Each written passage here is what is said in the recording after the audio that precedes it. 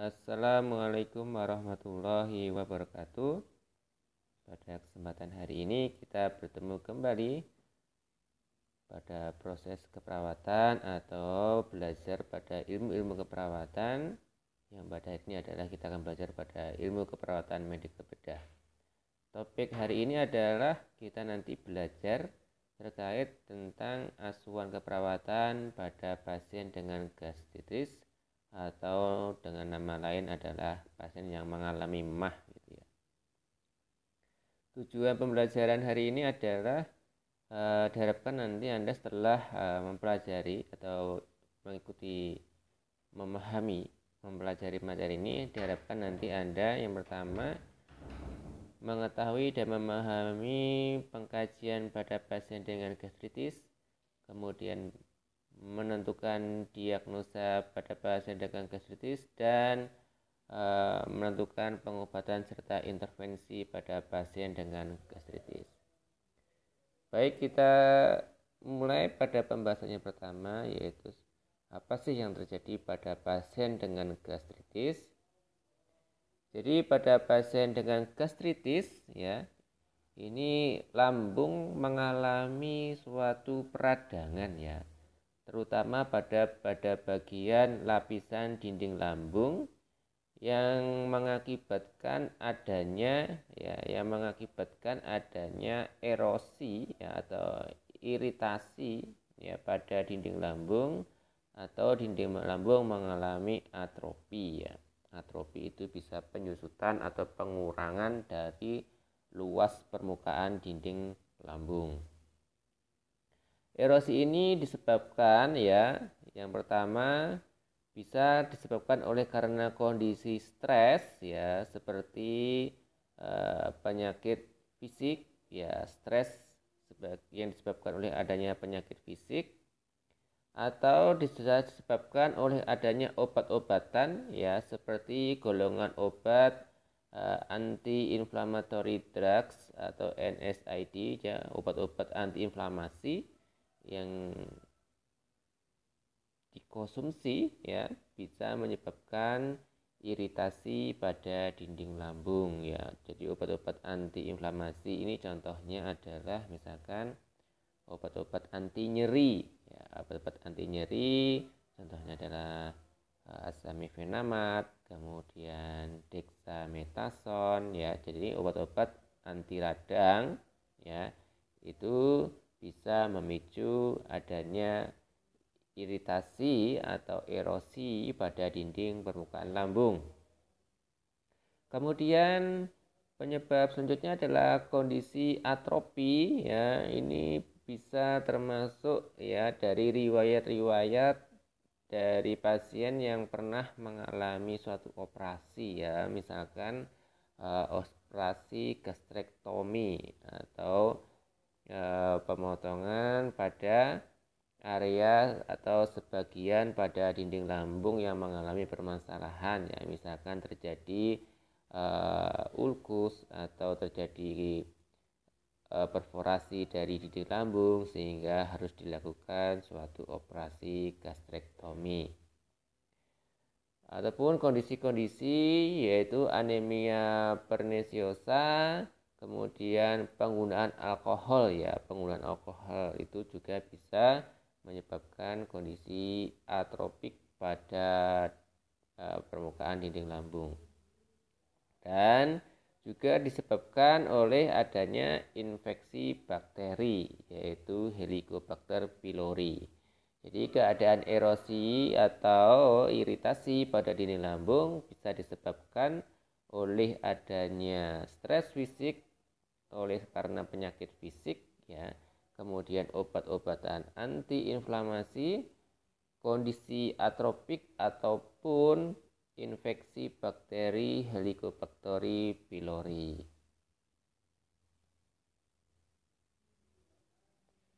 Bisa Anda lihat di dalam gambar ya di sana uh, ada beberapa uh, gambar menunjukkan penyebab-penyebab dari gastritis yang memicu peradangan atau iritasi pada dinding lambung ya nanti bisa sampaikan tadi ada obat-obatan, kondisi stres fisik akibat suatu penyakit atau kondisi e, lambung mengalami atrofi ya karena suatu operasi atau karena infeksi bakteri.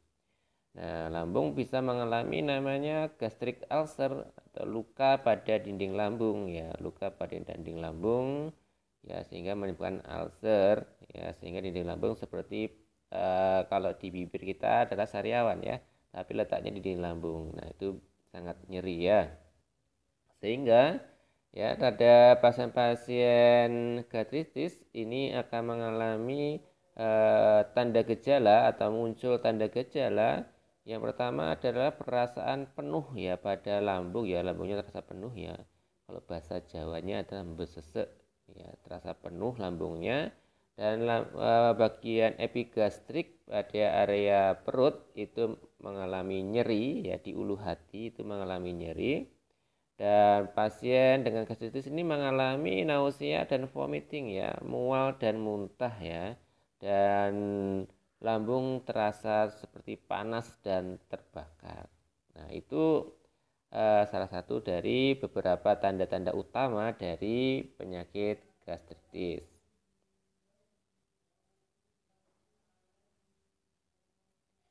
Ya, selain dari nausea, vomit, kemudian anoreksia, ya tidak nafsu makan, itu kan tanda gejala dari gastritis kemudian nyeri pada bagian epigastrik, kemudian e, terasa penuh ya pada bagian apa namanya ya e, lambung di bagian epigastrik. Dan kadang ini bisa terjadi perdarahan ya perdarahan yang disebabkan atau berasal dari area mukosa dinding lambung yang mengalami iritasi dan kadang pasien juga mengalami hematemesis, hematemesis muntah darah ya eh, dengan warna eh, eh, pekat ya seperti kopi ya, seperti kopi yang ini disebabkan oleh karena apa? sebagian darah dicerna oleh dinding eh, maaf dicerna oleh lambung ya sehingga warnanya seperti kopi. Kemudian uh, darah ya berak darah. Jadi melena ya Melan, melena itu adalah berak darah. Jadi uh, tinja berwarna kehitaman ya. Jadi istilah-istilah hematemesis melena nanti minta tolong diingat ya karena nanti istilah-istilah ini sering ya sering digunakan di dalam rumah sakit ya. Hematemesis itu adalah uh, muntah darah warnanya adalah seperti kopi ya gelap ya gelap. Merah gelap. Ya tidak bukan merah segar tapi merah gelap. Kemudian berak darah itu melena warna ditandai dengan warna dari tinja itu kehitaman. Baik, hasil pengkajian selanjutnya adalah kita lihat dari hasil pemeriksaan diagnostik yang pertama adalah pemeriksaan hemoglobin dan hematokrit ini pada pasien gastritis itu mengalami penurunan ya jika pasien tersebut mengalami perdarahan ya. Jadi hematokrit dan hemoglobin itu akan mengalami penurunan. Dan kemudian tanda yang kedua adalah uh, anemia ya karena pada pasien pasien apa namanya gastritis ya ini mengalami penurunan zat besi ya yang diakibatkan oleh kondisi yang kronik ya. Jadi atau juga bisa disebabkan oleh karena apa? Kehilangan darah yang sifatnya sangat lambat ya. Jadi terjadi anemia. Kemudian pada pemeriksaan tinja ya ter, terdapat bekuan-bekuan darah ya, terdapat bekuan-bekuan darah. Dan pada pemeriksaan eh, apa namanya itu ya eh, cairan lambung ya cairan lambung itu bisa ditemukan eh, bakteri ya bakteri helicobacter, pylori. Nah, seperti itu Kemudian endoskopi ya pemeriksaan endoskopi ya bagian atas pada lambung itu menunjukkan adanya uh, inflamasi ya menunjukkan suatu perah peradangan ya jadi ketika kita lihat melalui kamera itu pada bagian dinding lambung mengalami suatu kondisi peradangan atau inflamasi. Baik, itu adalah e, tanda gejala atau pengkajian yang dapat kita temukan pada pasien dengan gastritis. Selanjutnya adalah bagaimana pengobatannya ya, pengobatan pada pasien dengan gastritis. Yang pertama adalah kita berikan obat antasid ya obat antasid contoh obatnya adalah Maalox ya Milanta nah seperti itu ya. Kalau apa namanya yang sering di warung-warung itu adalah Promac ya. Jadi golongan antasid ini fungsinya untuk menetralkan ya untuk menetralkan asam lambung yang sudah keluar ya. Kondisi asam lambung yang sudah keluar jadi dinetralkan. Kemudian diberikan obat suklarvat ya untuk melindungi dinding lambung ya. Jadi obat suklarvat ini berfungsi untuk melapisi ya, melapisi dinding lambung sehingga uh, tidak terjadi kondisi iritasi bisa diakibatkan oleh misalkan makan makanan yang bersifat iritatif atau obat-obatan antiinflamasi tadi ya. Kemudian obat yang kedua adalah golongan obat histamin 2 blocker ya. Contohnya di sini adalah ranitidin, famotidin, nizatidin, simetidin. Nah, obat-obat ini berfungsi untuk menghambat pengeluaran ion H+ ya sehingga kondisi dari area lambung tidak menjadi asam ya sehingga tidak terjadi iritasi.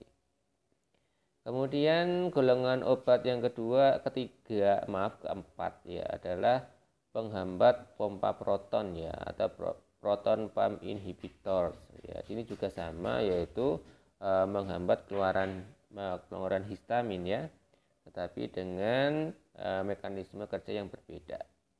Contoh obatnya adalah omeprazol, isomeprazol, pantoprazol, ribaprazol, lansoprazol Nah, kemudian kalau misalkan ada indikasi adanya infeksi bakteri bisa diberikan antibiotik. Kemudian pengobatan selanjutnya adalah modifikasi ya dari diet. Jadi makan makanan yang memicu ya memicu untuk terjadinya iritasi dinding lambung itu dikurangin ya. Misalkan makan yang pedas, kemudian makan makanan yang asam, makan makanan yang intinya adalah dapat uh, memicu iritasi dari dinding lambung itu dibatasi. Kemudian kita monitor hemoglobin dan hematokrit ya untuk memantau adanya perdarahan pada dinding lambung atau tidak. Itu pengobatan-pengobatan. Jadi bisa diberikan obat antasid, milanta contohnya atau promak suklarfrak obat untuk melindungi dinding lambungnya. Ya jadi dilapisin dinding lambungnya. Kalau histamin 2 blocker itu menghambat ion histamin sehingga kondisi lambung itu tidak asam ya. Kemudian pompa proton inhibitor juga sama ya menghambat pengeluaran histamin pada dinding lambung H+ sehingga kondisi dari Eh, dalam lambung tidak asam. Kemudian antibiotik jika ada indikasi infeksi bakteri dan modifikasi obat-obatan. Selanjutnya diagnosa keperawatannya apa di sini? Pada pasien dengan gastritis yaitu yang pertama adalah resiko ketidakseimbangan nutrisi kurang dari kebutuhan tubuh Kemudian yang kedua adalah risiko ketidakseimbangan cairan dan ketiga adalah nausea. Nah, risiko ketidakseimbangan nutrisi ini kurang dari kebutuhan tubuh bisa disebabkan uh, atau berhubungan dengan apa? yaitu peningkatan asam lambung ya. Atau berhubungan dengan iritasi dinding lambung ya ditandai dengan nausea, kemudian eh, mual, muntah, kemudian nyeri di epigastrik, ya, rasa terbakar. Nah, itu bisa dijadikan sebagai tanda gejala dari penyebab resiko ketidakseimbangan nutrisi dari tubuh.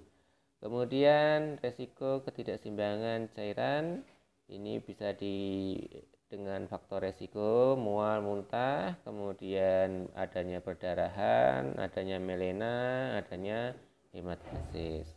Dan yang terakhir adalah nausea bisa berhubungan dengan peningkatan asam asam di dalam dinding uh, di dalam rongga lambung. Nah, bagaimana intervensi keperawatannya? Yang pertama adalah kita monitor vital sign, tanda-tanda vital cell, vital sign ya, untuk mengetahui kondisi vital yang bisa ber, uh, dipengaruhi oleh adanya kondisi pada uh, gangguan gastritis yaitu perdarahan, kemudian nyeri, kemudian infeksi bakteri yang bisa menyebabkan adanya demam dan lain-lain. Kemudian monitor intake dan output ya ini untuk mengatasi adanya tadi ya biar tidak terjadi ketidakseimbangan nutrisi ataupun biar tidak terjadi e, kekurangan cairan maka kita monitor intake dan output ya kita pastikan masukkan makanan dan cairan itu mencukupi. Kemudian yang selanjutnya kita lakukan adalah monitor dari tinja ya adanya bekuan darah. Nah, selanjutnya dapat kita lakukan pengkajian pada abdomen ya, pengkajian pada perut. Kita kaji suara us bising usus ya, bowel sound, kemudian adanya ketidaknyamanan pada bagian perut ya. Bisa tadi nyeri, kemudian perasaan terbakar, kemudian pada bagian perut ya terutama epigastrik, kemudian perlu terasa penuh dan berat ya dan terasa sesak. Kita kaji, kita pastikan pada pasien, pasien apakah mengalami tersebut atau tidak ya setelah uh, pengobatan diberikan. Jadi digunakan untuk evaluasi. Kemudian ajarkan pasien ya mengenai pembatasan diet ya untuk menghindari alkohol, kemudian membatasi konsumsi kopi ya makanan-makanan yang bersifat asam ya. Jadi pembatasan pembatasan makanan yang intinya memicu iritasi dinding lambung kemudian kita ajarkan pengobatan pada eh, pasien dengan gastritis ya obat-obatan misalkan tadi ya obat-obatan apa namanya antacid kemudian golongan obat-obat suluk Clarvat, kemudian antihistamin 2 blocker atau atau pompa proton inhibitor ya. Jadi kita ajarkan pada pasien bagaimana cara konsumsi obat yang benar. Kemudian kita ajarkan pada pasien untuk menghindari merokok ya. Kita ajarkan pada pasien untuk menghindari merokok dan menghindari obat-obatan antiinflamasi ya non steroid antiinflamasi drugs. Oke, baik. Mungkin itu yang bisa sampaikan untuk pembelajaran pada mata kuliah KMB khususnya pada topik dari asuhan keperawatan pada pasien dengan gastritis. Jika ada yang belum paham atau belum bisa dimengerti, bisa Anda tanyakan melalui diskusi. Baik, terima kasih. Semoga bermanfaat. Jazakumullahu khairan.